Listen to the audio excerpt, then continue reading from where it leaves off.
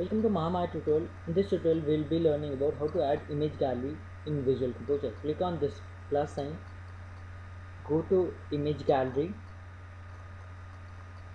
You you can title the image as uh, baby slider.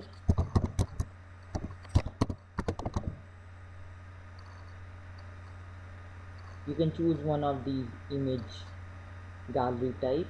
I'll be using now flex slider fade auto rotate keyframes you can disable you can choose uh, any of these options or you can choose a disable.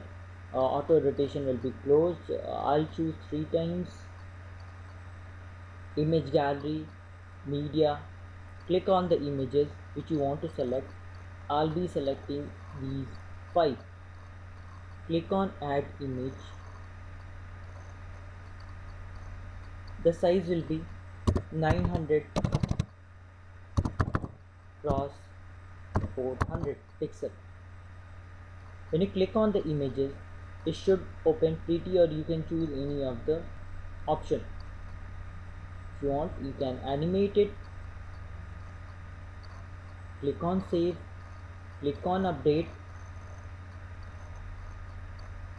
Click on preview